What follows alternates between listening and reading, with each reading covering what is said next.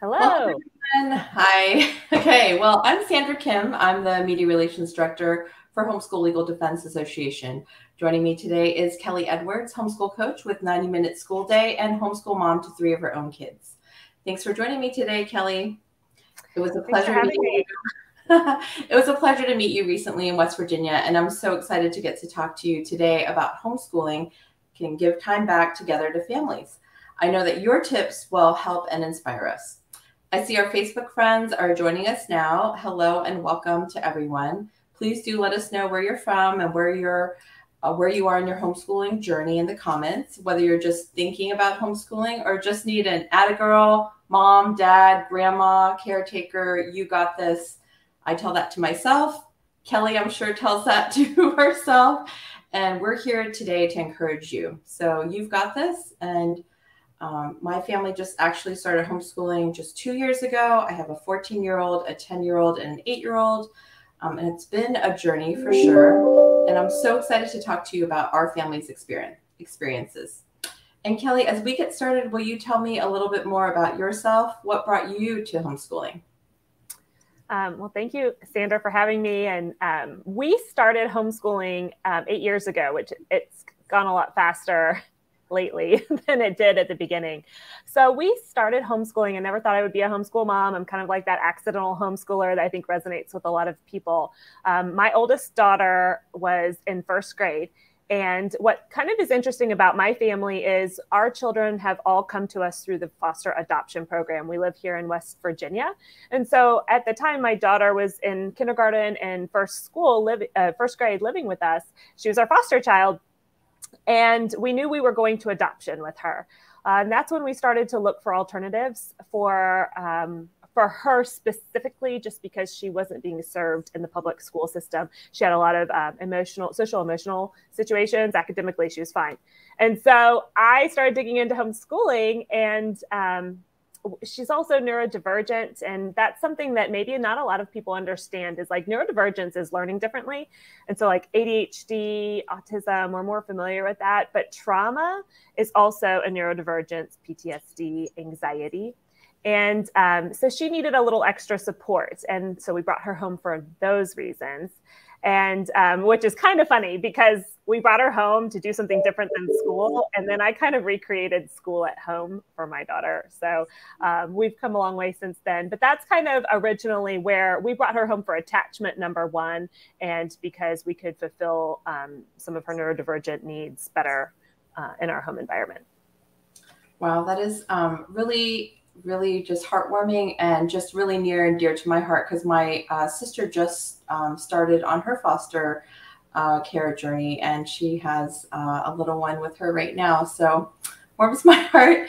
And I just um, am so excited to be talking to you about uh, all the different uh, tips and things that we can talk about. Um, I also wanted to remind our Facebook friends, feel free to drop any questions you have for us about homeschooling can give time back together to your family in the comments. We will have hopefully some time at the end to answer some of those questions. So um, you have talked about the importance of the gift of time. Could you share a little bit more about that? Yes. So I'm super passionate about like advocating for homeschoolers, homeschool moms, homeschool kids, um, people who are thinking about homeschooling, people who are just curious. And the reason is, is we can give ourselves the gift of time. Uh, my business is called the 90 minute school day because my kids and I learn every day, all day long. So do your kids, so do kids in the public school system. And so it's really about um, cooperating with one another, learning to collaborate, learning to kind of follow interests to get curious and to do that in the spirit of connection. Um, and so when you have connection and relationship at the bottom of your homeschool, like that's your foundation, then mm-hmm. the sky is sort of the limit. And that's what homeschooling provides. Whereas um, there is connection and relationship in a public school setting or a private school setting, but it's like one adult and 30 kids. So that's a little bit of a different dynamic.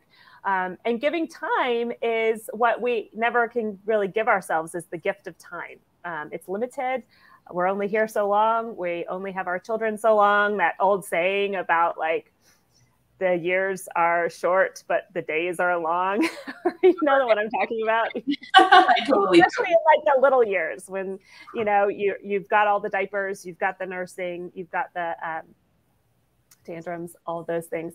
So homeschooling is is giving yourselves this space because one of the most difficult things is transition times with kids and with adults. Like I don't, I have trouble with transitions myself. Um, so there's so many there's so many things you can do um, when you're at home with your children because you have the agency. Um, and you have the decision making power, and you're not subject to some outside institution. Um, Yes, I mean, I think sometimes uh, the choices that you have can be paralyzing, at least for me, because I'm like, oh, wow, I have a chance I can do biology, I can do anatomy, I can do flying creatures. And then I'm like, there are so many choices, you know, but I mean, I, you know, too many, but um, which is so nice. Um, but I, I, guess one you know one thing i could say for sure is that you know if our day gets away and you know we're watching there was a little butterfly that landed in our in our back deck. And mm-hmm. um, it was like just not ready to go anywhere. And so we're like you had the gift of time. You could sit there. We did. And so we sat there and then we made some like simple syrup and then we watched like the the little i don't know what it's called the little thing unfurl. The proboscis like, yes. Yes. yes. yes. And they go. I know this because I got it in homeschooling.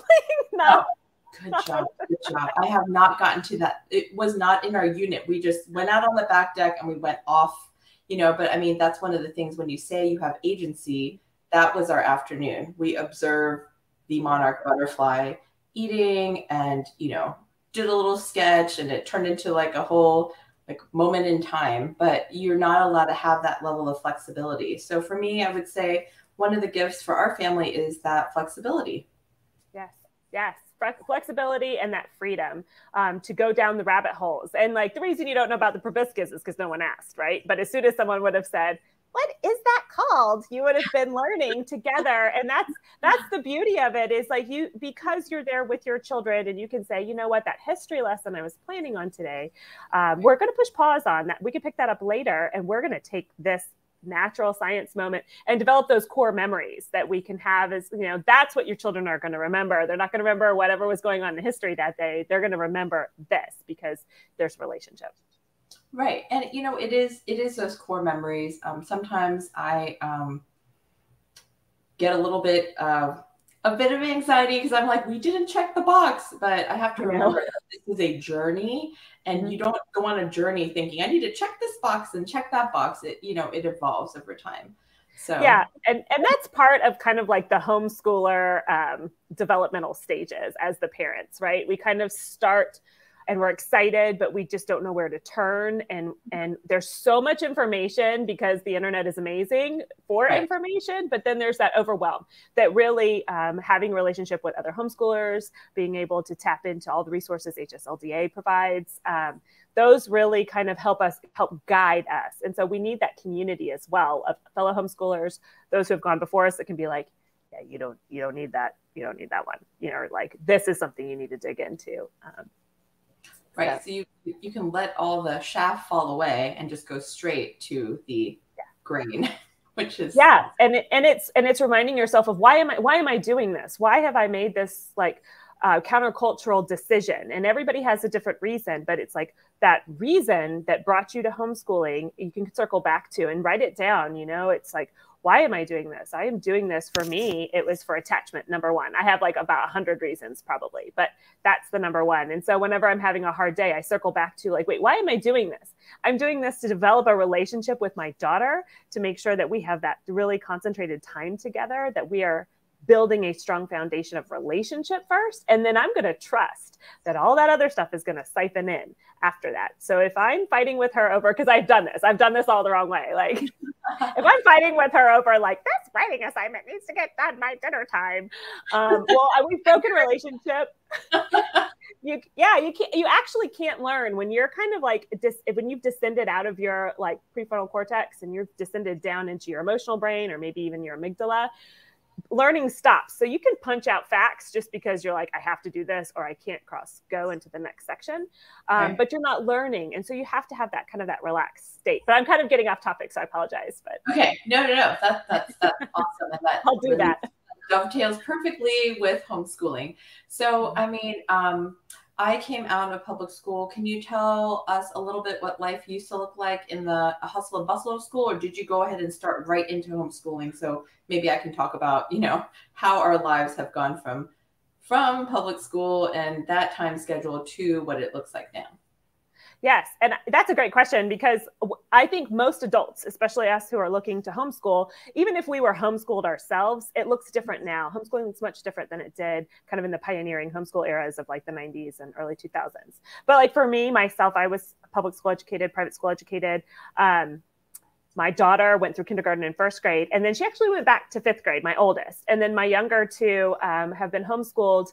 But my middle daughter, who's eight now, she did go to a Montessori school for preschool so we have kind of like an eclectic uh, mix where I've been the parent and then I have my background.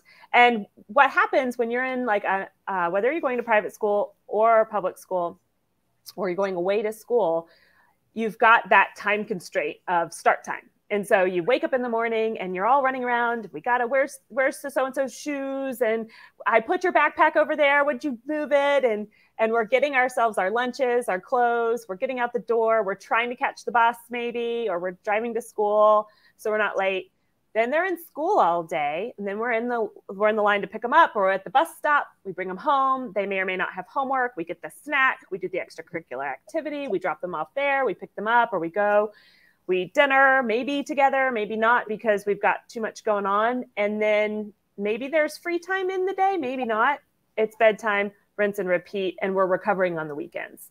And so that was my experience um, when we were doing kindergarten and first grade. I still she still needed to nap. She has a high sleep need, um, and so that was part of like besides attachment like get us out of this rat race we we we can't have this connection that we're looking for because we just don't have the time because we've subscribed to these different systems agreed agreed and you know it's not the system that you have made so i mean my right. kids um, aren't super late risers. Their natural clock wakes them up around 7 a.m. But that did not work with, you know, the public school schedule. So I would wake them up at 6 a.m. and there was like screaming and yelling from 6 to 7 because I was like very yeah. concentrated on them having something to eat before they got on the bus. Mm-hmm. And then, you know, they needed to take that 10 minute walk to the bus stop, which came at 717.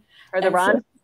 Yeah, the run, the run. And then we would miss it. So then I would have to drive them to the next bus stop or to school. Yes. So I totally understand and agree that level of um, it was really, really high stress. You know, cortisol levels are rising, they're screaming. And I mean, to to show you the opposite of what that looks like now, the kids sort of wake up on their own. I, I do require them to to get dressed and brush their teeth and make their bed that we do have a morning routine and then they come downstairs and then um, I do have one kid that does like to cook, so she's like, "Oh, who wants an omelet? Like, who wants, you know, eggs easy?"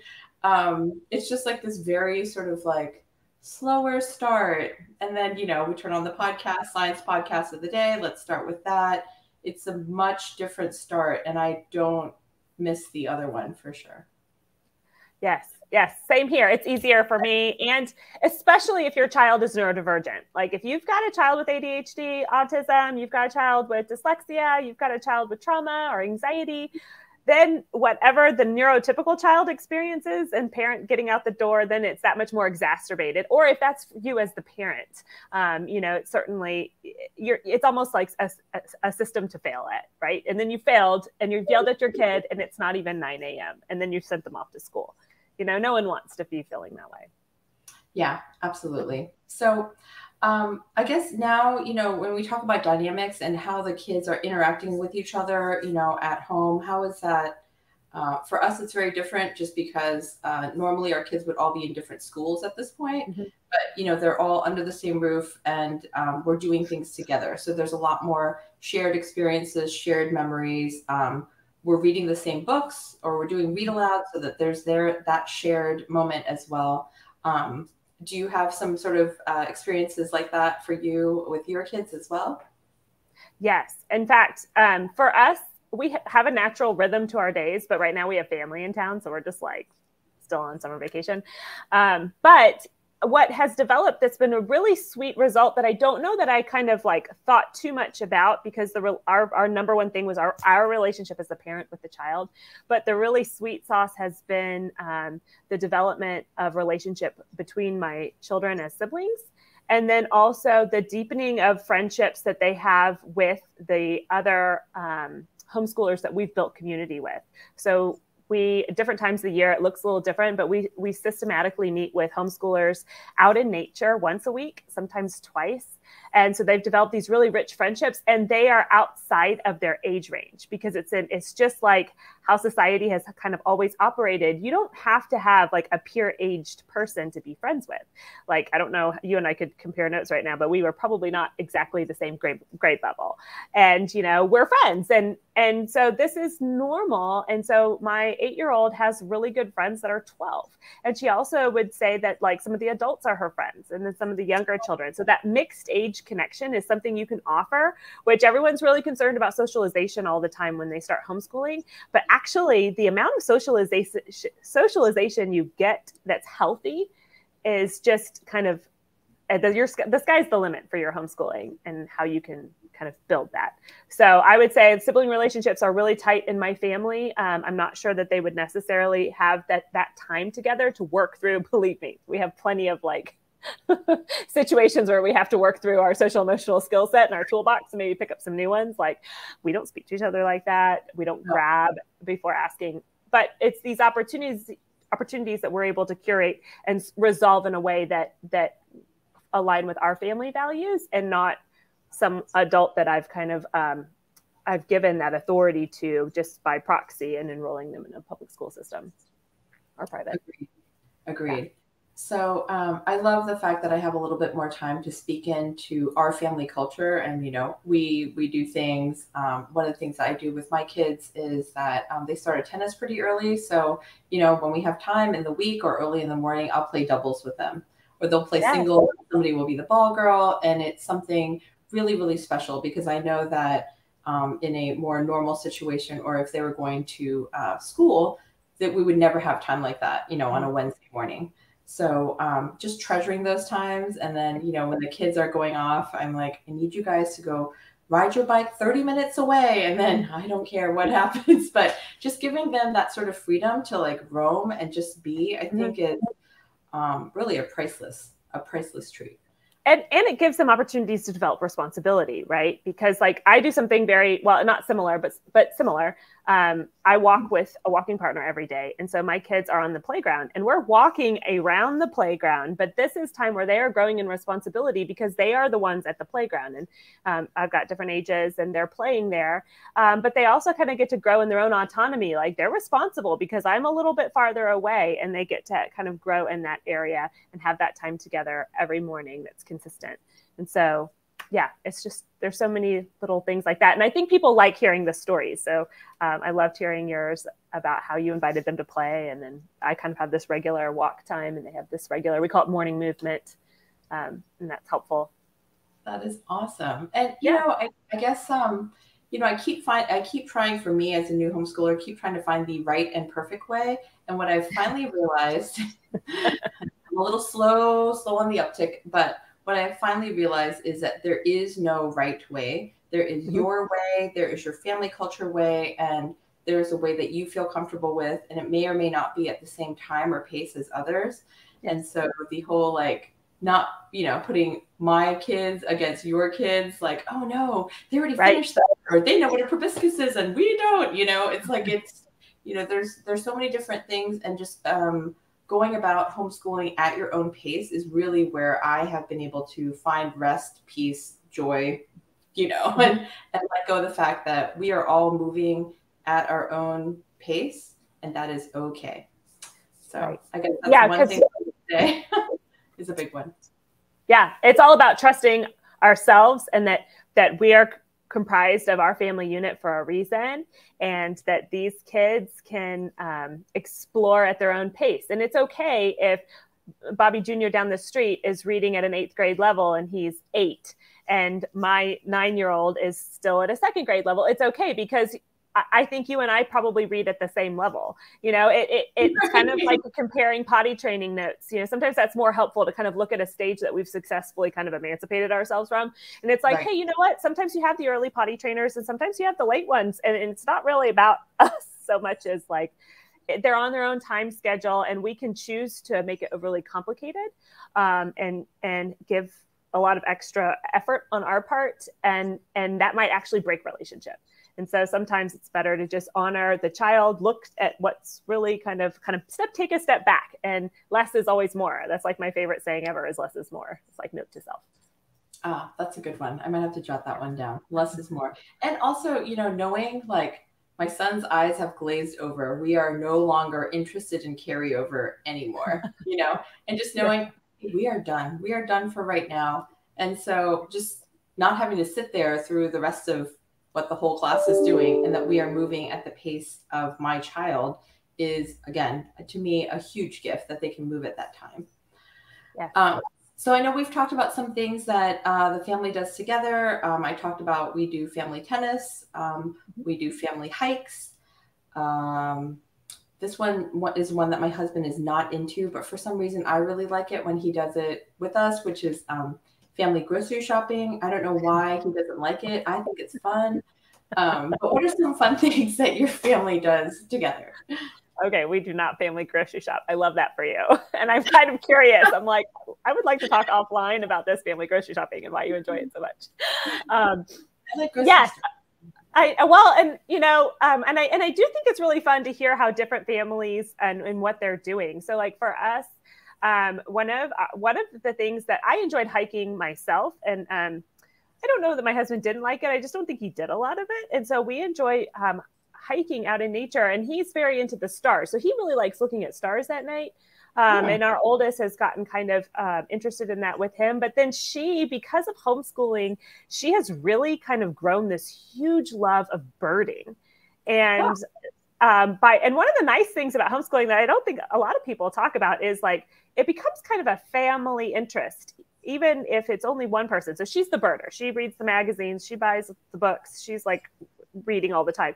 But because she's so interested in it, we kind of get informed by proxy. And and my own knowledge of the local birds that live around us has really grown. And and because we're home more and we're outside and we hike as a family or we bike ride as a family or we just go to the park or we might just like stop on the side of a road and go down a trail we've done that before um, we'll see these birds and then we've we've gotten to start recognizing them with her. And then she gets a chance to inform us and teach us about that. So sometimes you know I, I mean, I always I'm learning things, but it's about uh, inviting the family to participate and then honor someone's interest. I love that. Well, I have zero interest in um, NBA basketball, but now I know more about it than I've ever wanted to know my son wants to talk about it. He wants to talk about who got drafted to where and what their family story is. And his brother also plays and the father also coaches. And I'm like, can we talk about something else? But it has become a family thing because then we'll quiz him. Hey, do you know like who got drafted in 1980? And he'll, he'll, he'll know the answer. Yeah. Um, so now we play family basketball. He likes to show us his trick moves. Um, I like to show him that I can still actually make three point three point shots. He's pretty pretty impressed by his mom from time to time, and I know who Giannis Antetokounmpo is. And just so you know, Rise is a great movie on Disney Plus. Um, I have three like, girls. I'm like I'm learning a lot here. oh, it's, it's, it's, a neat story about um, these brothers um, who lived in Greece and then they had an opportunity to play for the NBA. Um, just a really neat story, but um, just showing their their dedication and grit.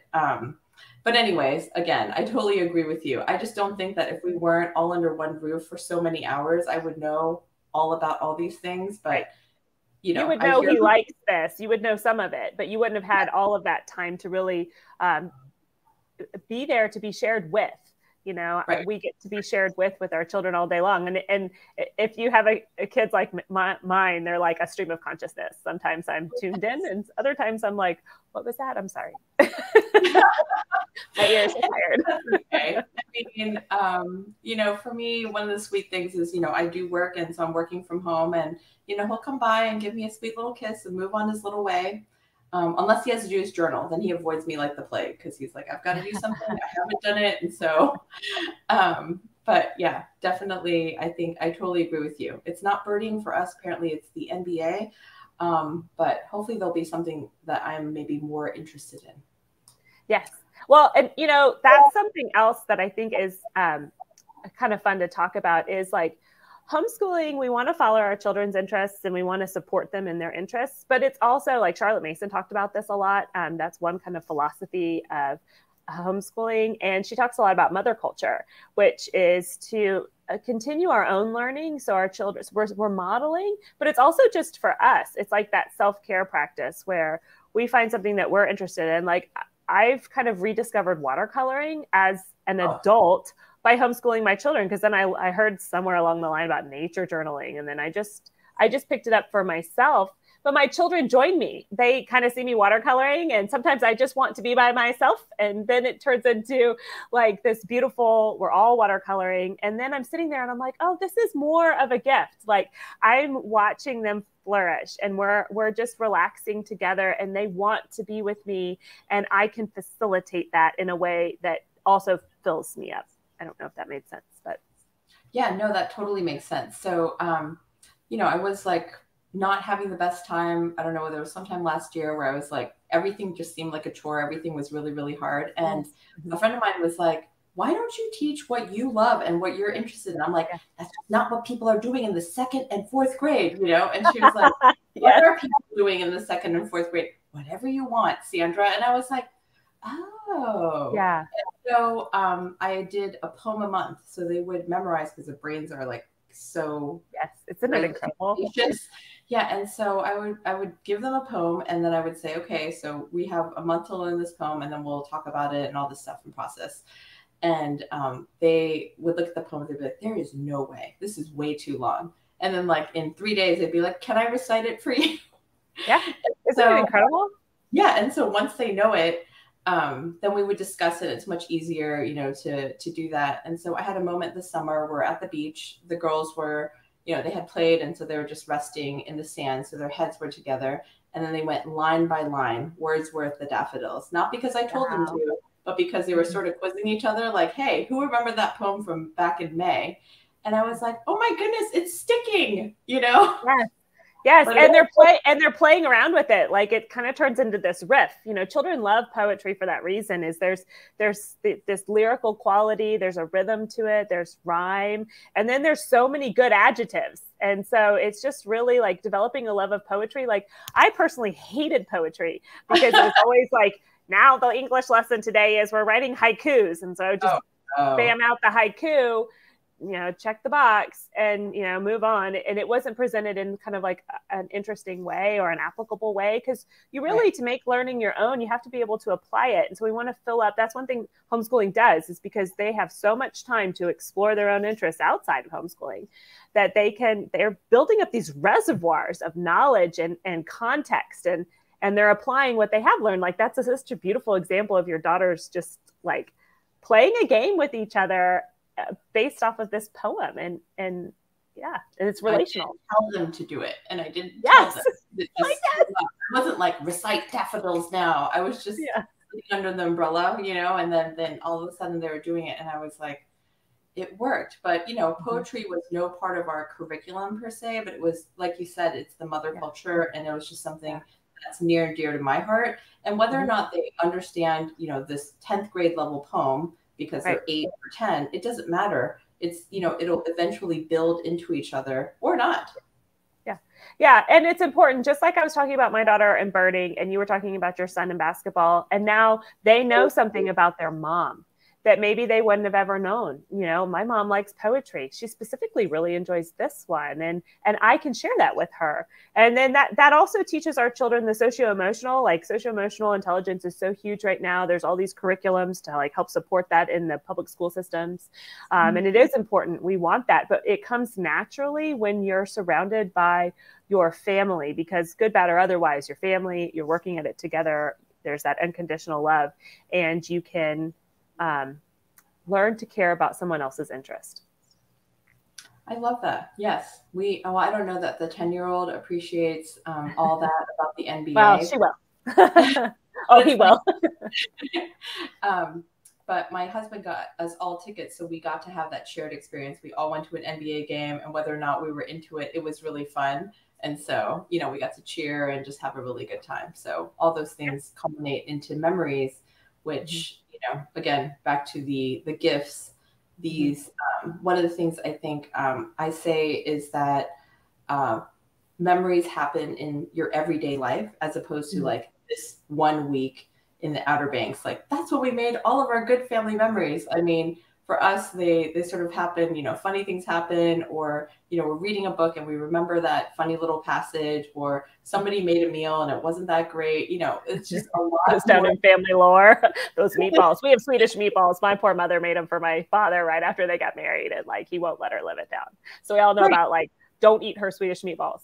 I've never had them offered to me so it must have been bad. But yeah, it's like it's all those shared shared moments, but they happen every single day, not like on some special weekend right. trip, but it happens just because you know you are under that same roof and there are these funny things that happen.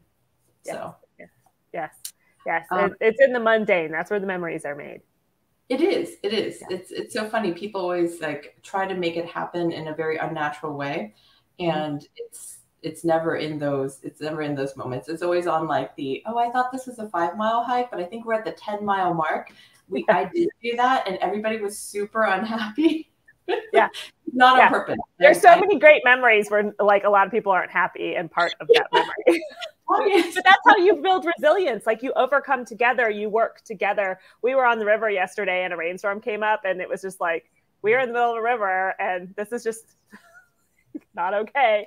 But it was, you know, we we improvised. We we went through something together collectively. It's going down in family lore, and you have more of those opportunities. Your kids get to see you at your best and at your worst. You know, when you're losing your temper because you're on the side of the road with a flat tire, you know, they they they're watching how this is navigated where if they were in school they wouldn't necessarily have those skills. They might learn about them in driver's ed but it's like real life happening. How do we manage ourselves and keep everyone safe while we're on the side of the road? And that did happen to me in the winter at 10 p.m on the side of the road. And um, we had to wait uh, almost three hours for a tow truck. So we ended up watching um, terrible youtube videos. Yes we do have that memory. Thank you. Yeah much. This is a real bad time suck. But guess what? We're passing time. You pass time um, and you guys are laughing about it later. sometimes, sometimes, sometimes you need more time to pass before you really soon. laugh about it. Yes, yes, yes.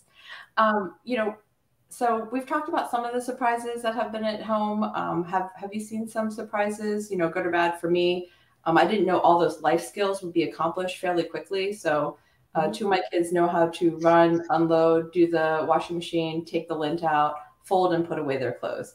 Um, yes. That's not something that I had any expectation of my children doing before like 17. I don't know why. I just just thought like they're not even at home, so to to make that a, a thing that they did was really not a part of uh, something I was thinking about pre homeschooling. Now I'm like, hi, you're home. Like you're let's let's do this.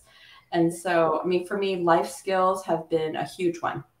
So mm-hmm. can you talk about some of that sort of? Oh yeah, yeah, yeah. The surprises of homeschool, like that's such a good illustration of just like part of building a family culture is doing life together. And and and i do hear this and i understand the logic and and and what works for one family is different for another family. So if you have your children in the public school system i can understand why you're doing the laundry because their schedules are so jam packed especially if they have extracurricular activities. But when you're at home you're able to delegate and teach. So like i'm like hey we're a part of a team. We all live here. We all make the mess. And so and and our household, everybody has something to do with the laundry. So it's mainly my oldest daughter's responsibility, but I've I've told her I'm like you want to help me help them learn because that will work yourself out of a job. Um, and then the eight year old's gonna she's coming up on it. She's almost there because she likes learning together. She likes doing it with her sister, and she really likes stain treatment, which makes us all happy. Um, so they do the laundry, they cook their own meals. Um, they're, they're at a place where every once in a while they'll cook a meal for the family and so mm-hmm. this is helping this is helping work me out of my household jobs because i can outsource and i can delegate and i'm i'm um, giving them the responsibility that's growing their muscles and so absolutely practical life skills. Another surprise of homeschooling for me is um, just the opportunities for mentorship. And so, because I'm in charge of my time and, and my children's um, time, and I want them to be in charge of their time, we have a wonderful mentorship for my 14 year old. So, she's this is her second year, and she's working. One of her interests is also in gardening and regenerative agriculture. And so, we have a family friend that owns um, a veggie wagon, and they grow their own vegetables. They outsource what they can't fill in. And so, my daughter goes out there two days a week and um, is mentoring and interning with this farm and picking up all kinds of skills. People that I just meet for the first time, they're like, "Oh, you're my daughter's name. You know, I didn't. You know, it's nice to meet you." And I'm like, "How do you know her? You know, I just met you." And they're like, "Oh, well, we met her out at the wagon." And so oh. there's these extra opportunities that that you can make happen that uh, help in your child's education in maybe a um, alternative way but how rich is that type of learning? Agreed. I totally agree. Um, one thing that we're incorporating into our homeschool more deliberately i mean we did it sort of intermittently but is um, service. So you know i'm like hey how can we serve our community that we live in? Because um, you guys are here and there's time to do it. And so we've been exploring some of those opportunities and um, one of the things that we're going to do is we're going to have a quarterly um, talent show kind of thing. Whoever other homeschoolers want to come. Um, we live near some senior communities, and they were like, "Yes, come in, perform. We don't care what it is." And so we're super looking forward to connecting um, that way. And then um, I taught my kids how to play all the silly card games that I did, you know, growing up. and so they love it and like they just they're like oh i don't want to play mommy. They're like mommy you have to play with your non-dominant hand and the other hand behind. You know like we're handicapping you. Yeah, exactly exactly. And like um it's it's so fun i guess um you know just having i appreciate it more i feel like just because i know what it's like on the other side where you know i didn't have them do any chores because they really weren't home they weren't home right. from 717 until 3 and then at three, it was just like you said, they would have a snack, homework, after school activity, wash, go to bed. So I don't know where in there they're going to do any chores, but there was no time. Yeah. And that can happen also to us in in our homeschools. Like we can because I think sometimes we think, well, we're home all day. Yes, I can do this. Yes, I can do this. Yes, I can do this. And the next thing we know, we're running ourselves and our family ragged. So that's something to keep in mind too. Like you want to say no to good things so that you can say yes to the best. And that takes that intentionality that we talked about earlier about like, why am I doing this? Um, what is my main goal here? And all of these wonderful opportunities keep presenting themselves.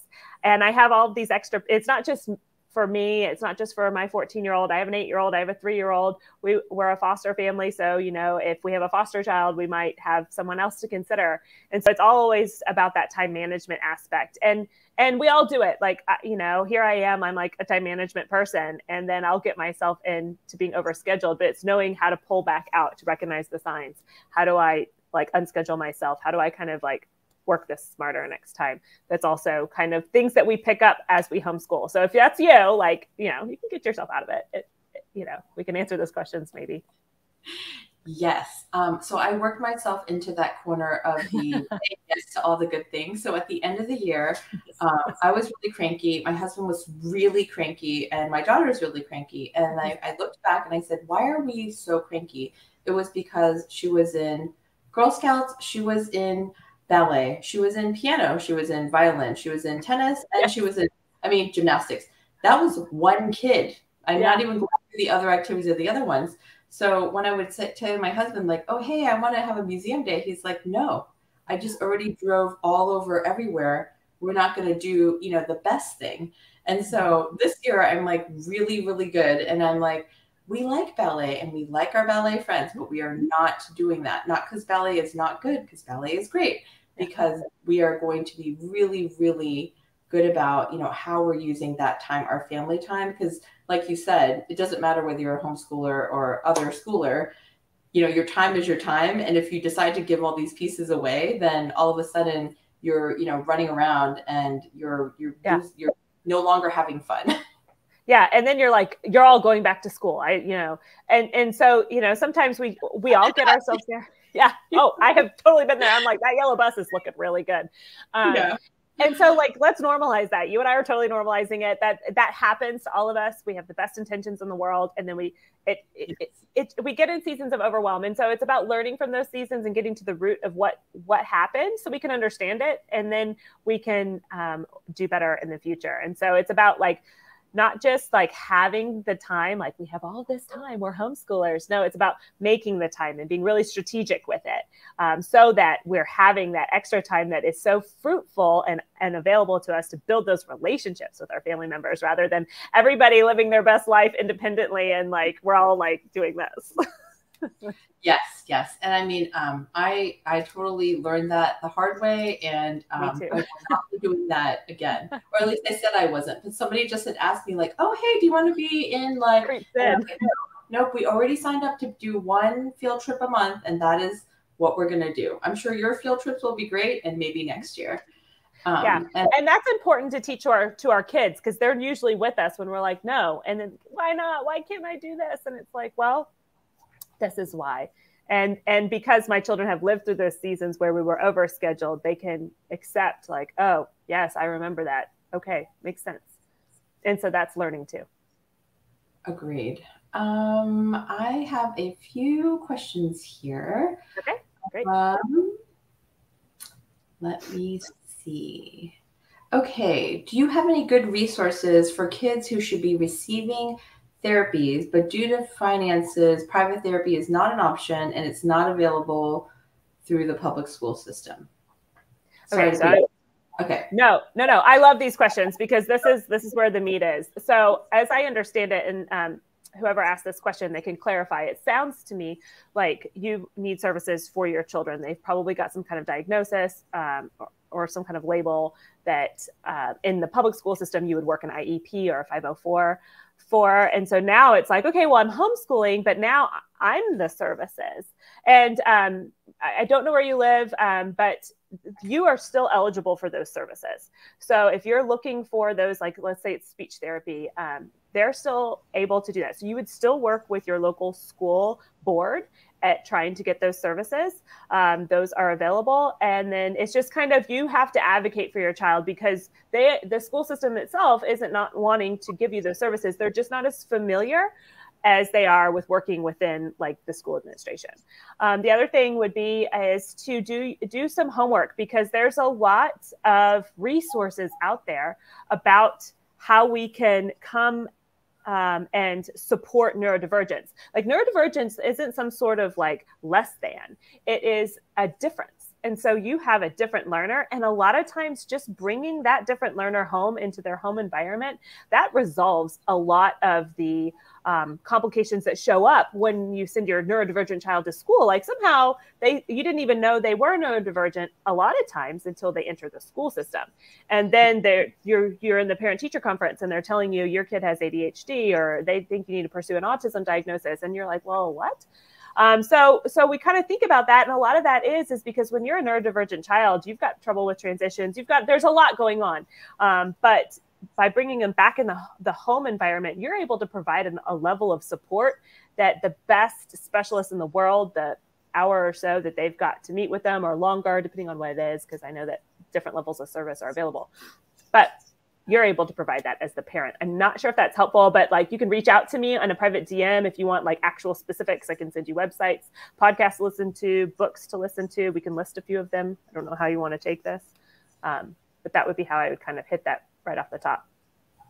Thank you so much. Um, okay. I think uh, we also, with our director of um, research, he did a huge project on exactly what you said, which was mm-hmm. once you bring that kid home, um, it kind of makes all the a lot of those things um, go away because a lot of things that were they were dealing with happen at their own pace. Be that transitions or learning at their own pace or not having to you know deal with um, you know the stigma of not having learned that next step and then you know always having the special ed person coming in and they're kind of you know pegged as the one that's not smart. You know everybody knows that special ed person you know all those things. And so what happens is whether or not the parents have specialized um, you know they don't have any training or anything in those in, it doesn't matter. It's their kid and their kid is home with you are the specialist. Yeah, you understand you your child in a way that no one else ever will. Yeah. Right right. And i mean for for me a long time you know that it's like this thing where i'm like well you know i've gone to school and i've gone to grad school but i'm not a trained teacher. And you know my husband's like well i'm not a trained teacher but like I failed to take that one more step. And it's like, uh, no, we actually are. We taught them how to do a whole bunch of things before we sent them to school. And it's like, we are their first teachers. And frankly, I think because we love them so much, like we would want what's best for them. So if we're not it, then we're going to try to find what that is. And I think that that's like step number two, because that's what my friends who don't homeschool say. They're like, I'm not a teacher. I wasn't trained in that. I can't do that. But it's yeah. like, you're your child's parent so that means mm-hmm. that you can. Yeah, and and actually, so many teachers that are like trained educators that decide to homeschool. There's a lot of them out there. They're they go through a process, and and I had to go through this process too. It's deschooling. Like you have to kind of unwind this um, idea of like one teacher and 30 children. When you're in home, it's not a top down. It's like like we've already talked about, it's this communal learning. I'm learning with you. I just have more resources and I have more experience to support this learning um, and we're doing it together and we're learning together. Like i've learned so much more as a homeschool mom than i learned the first time around um, like yes. I mean if i wasn't humble before i'm certainly humbled now. Because yeah. I can say like you know my son's like do you know how a shell grows? Well no i don't. I have no idea. I went to a learn together? Teach me that one. You yeah. know for sure Okay. Yeah, and education is just learning how to learn. We want our kids to learn how to learn. They don't need to be full of facts. They just need to know how to get the information and to think critically. That's what we really exactly. want. Exactly. And, you know, I think um, that deschooling part is a really important one to mention because, mm-hmm. you know, I'll tell my daughter, and she's always like, I don't like homeschool. I don't like homeschool. And I'm like, I need you to tell me what it is that you don't like about homeschool. And, you know, she wants this, like, you know, at six o'clock we do this, and at seven o'clock we do that. There's a break. And you know what i mean? She has this sort of like institutionalized mentality. And i was like if you want to write a book about you know the gummy bear trip she started this really really crazy book. And i was like did you read that somewhere? Because it's really sort of way out there. And she's like no it's just my idea. And i was like well then write your book and we can publish your book. And she's like yeah you know what I mean? It just blows her mind because she's like, I'm like, and you can decide every day I work an hour on this book and then I will have it really published, bound. You can sell it, you know, book signing. And I think for her, it's like such a leap because mm-hmm. it's always been this certain way and you have to do it a certain way. And, you know, homeschooling is there is no, there is no certain way. Yeah. And that's, that's really preparation for life right there. It's beautiful. It is. It is. And you know, I I have um, taken a couple days off last year where I'm like, you know what? Guess what? We don't have school today, and the kids like they kind of freeze because they're like, I don't understand. Like, why are we off? Is today off day? And I'm like, no, I have deemed it to be off for us, and yeah. now we're gonna go get ice cream. And they're like, but why? You know what I mean? It's why not? yeah. yeah. Car before I change my mind. Yeah. Um, okay, we have another question. We feel bad because we don't have many friends and the co ops are all church based. How do we make it easier? Kids are six and seven. Okay, so this is, I get this question all the time. So um, it, it sounds like, uh, so she's got six and seven, is that correct? That's the age of her children. Um, yes. So obviously like faith-based communities are are stemming from their church. Um, i attend church but my homeschool group has nothing to do with church. And so um, this was a friend of mine who um, is not a faith-based homeschooler she's a secular homeschooler and she was really looking for the type of community i was also looking for which is i want play-based i want nature i want community with other homeschooling moms and i want it to be diverse. I want to have lots of opinions because we don't have freedom unless we have dissent. So if we're all an echo chamber of things then are we really learning or are we just amen girl you know? So i didn't want that she didn't want that and so we each kind of, there's lots of ways you can do this. I'll just list a couple. You need to build your own. You need, if you want it, you might need to build it. Um, so what you can do is you can just have one other person and then the two of you meet and you guys invite anyone else you know and then you kind of invite from there you can go um, put up a put up an ad and let your librarians in your in your um, local area know you're interested in meeting with other homeschoolers especially if you're a new homeschooler. The librarians know the homeschoolers. Um, use facebook. Start a facebook so group. True. It's so true. Yeah, I know all my librarians by name. We're like friends, and they're like, "Have you read?" I'm like, "No." And that she's like, "I think you might because you're doing Roman history." She's like, "Have you heard about this series?" I was like, "No, this is amazing. This is exactly what I didn't know I needed." Um, so you know, go to your libraries. Um, think about where homeschoolers hang out. Go to Facebook.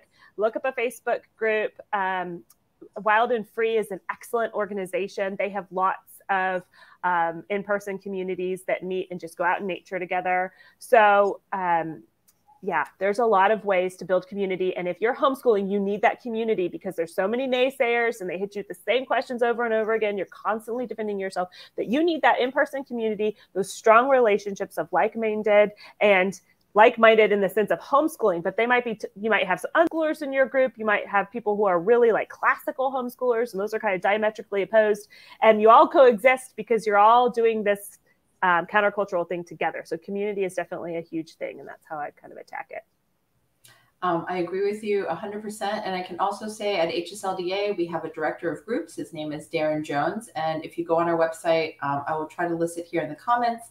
If you go to groups, you can get yourself plugged in that way. Um, as a new homeschooler, I was trying to find, you know, that perfect group and I wasn't able to find it. Like one was too far away, one met on the wrong day. And so, you know, just like Kelly said, I made my own group. I found a friend. We were both pandemic schoolers. Like we both had similarly aged children, not exactly perfect, which, you know, is really hard for people who are not you know, coming from home. like we want everyone to match up exactly year to year. And that's a school I'm, mentality. I'm really getting over that because somebody said to me, How natural is it that you have 30 kids exactly the same age in one room at all times? And I'm like, Oh, that is really weird. You know, but like unless you take it out of the context that people think that is normal, it's not normal. Yeah, it's not normal. And, and kids, and we gravitate, we build friendships after we leave school. We build friendships based on interests or geography. Like I'm friends with my neighbors. I'm mm-hmm. friends with people I share interests with. Um, and one of the things you'll notice if you start a play based community group is like there's always the builders and the builders are like 14 13 like my eight year old is a builder so if there's water she's damming it every single time. And the other builders get together and they teach each other what they know and they work on their own little science experiments and then you have the climbers and the climbers are all one upping each other over here and then you've got the like organized game people that are like let's play. And so they they and, the, and it's it's a variety of ages and that's the richness that homeschooling gives. And then there's the mentorship. There's the natural mentorship that's wrapped up in just play. So there's a lot there. Agreed. And I mean, it really is so important to to get outside. You know, good day, bad day, hot day, cold day. Um, I know that I feel better when I go outside. And you know, when things are going awry, I'm like, just go outside. And I'm not sure whatever you guys want to do. Take a dog, don't take a dog, go for a walk, see how you feel when you get back. Yes. So. I was just wanted to say one more thing about the community. Um, I host rooms on Clubhouse. It's a free app every week. Um, and that's if you can't find or you need like something now until you can build your in person community, um, it's just a longer form. It's like this, but it's audio only. And homeschoolers come up with questions and it's a large group participating. So look, go to, go to my, um, I guess my credentials will be in the comments for this, but like I'll plug you into there because that would just be something on a weekly basis you can tune in and ask your questions to a group of homeschoolers. It's also another alternative to the ones we've already given. That's really good. That is awesome. But I'm sure you'll echo this with me. Do not be an island because you'll be very sad. Don't be an island. Homeschool is not meant to be alone, not supposed to be no. lonely. You know, don't be lonely. You know, find your people, find your person that you can walk with, find a mentor. Um, Mm-hmm. Every time I feel like I'm doing something wrong, I call this woman whose kids went to college and they all don't live in her house now and they've all moved on in life. And so I'm like, I don't know what I'm doing with this. She's like, Yeah, you know, I wasn't really into that. So I just have them read a couple books and they'll be fine. So, you know, yeah. like you need a they'll be fine person. And then maybe you mm-hmm. find like an identified cheerleader where you're down in the dumps and you can call that person. They can be like, Hey, you got this. You know, you need all these different people that person could be one person, that person could be multiple people, that could be a community group. Like I have a, um, I'm not able to get to it all the time, but they meet once a month. So it's like homeschooling moms. And so you get to go together, you get to commiserate, you get yes. to share resources. And um, really that's sort of the, the gas that keeps the homeschooling, you know, go. Cause you can't, you know, what is that thing? Uh, you can't pour out of an empty vessel, right? And right. so I think, you know, I did like the empty vessel a couple of months where I was like, I am unhappy, you know, which yes. is not. Oh, I was there right there with you. I was like, help me. I don't even know who I am anymore. yes, yes. And so I find, you know, I'm happy. The kids are happy. We're all, you know, happy is the wrong word, but we're all content and we're living in a nice, nice environment that we want to be in together. And so, you know, if you, it really stems from whoever is administering, say, most of the uh, homeschooling. And for my husband and I, he's like, I feel like all we do is do homeschooling and talk about homeschooling. He's like, I don't want to do that anymore. So it took me to be like, okay, we're on a date. I'm not going to talk about what which math we're going to do. Should we do teaching textbooks or should we do math? math? Like he does not want to hear about it. We are on a date. We're going to talk yeah. about not homeschool. I'm like, oh, got it, got it. We are not going to talk about homeschool. So I'm like, okay, I'm going to not talk about this, but I really want to talk about it because I need to talk about it with someone. You can call me. call you, Kelly. I'm totally going to call you. Um, oh my goodness, I have no idea. I was like, how are we going to fill up an hour? Well, apparently that's not a problem for us. Um, so, uh, thank you so much for joining me, Kelly. I think um, hopefully people got some good ideas and tips and just feel encouraged from our conversation um, this afternoon. Yes, um, I've had so much fun. Thank you for having me. And um, I look forward to doing this again sometime, whether it's in person or online. We should do it in February. You know, we'll come up with yes. jokes and, you know, yes. where someone everything up because like you know february about 10th or so like i need to pick me up. I'm not you know chocolate. you last longer than me. I'm like normally by january 15th i'm like okay. Oh. Done. I have heard of people taking all of february off which i'm like that yeah. is and you can do that. And that's one thing like if it's not working for you just stop. Take a break you know, like you said, you, you have your ice cream day or take a season because you can school year round and it looks different. Like you, you could do formal schooling until you're done and then you can switch to something else that's just a different pacing and pick pick it back up after you've had a good break. Totally. And I'm, I'm going to take our own advice and administer it to myself. Right. So, uh, for those of uh, you watching, audiences thinking about homeschooling or has decided to homeschool, you're looking for next steps and resources, you can find us at hslda.org. We'll post a link in the comments. It's hslda.org. Get started. Um, in addition to our website resources, I want to that you know HSLDA members have accesses to a great legal team, educational consultants that'll help you set up your homeschool, tailor your homeschool, hold your hand, cry with you, all the good things. Um, you might have a child with learning differences who have dealt with bullying, uh, trauma in a traditional school or other settings. HSLDA educational consultants are also homeschool moms who specialize in pre K through eighth grade and high school. They're ready to help you tackle all those challenges, whether it's finding a math curriculum or you know fun things to do. And um, we also have a huge library of um, resources. Uh, we've done some webinars. We have another one coming up actually on Thursday at 7 p.m. They are free, and I'm going to go ahead and share Kelly's website. It's H. Uh, it's 90 minute. It's 90. It's 90 school day.com. 90 minute school day.com. She's also on Instagram. 90 minute school day. 90 minute school day. Yeah. And um, I also have one. Um, it's uh, called the Reluctant Homeschool Mama. But I feel like I should change it because I was reluctant before, and now I'm kind of like the um, excited, but with some trepidation. Homeschool mom. I need to come up with a shorter. You need one. a shorter one. yeah, a little bit shorter. Anyways, thanks again, Kelly, and um, I look forward to meeting again. You know, here in person on the river, preferably when it's not raining. When it's not raining, yes, I agree. Yes. Well, thank you so much. Thank you. Thanks. Bye, everyone.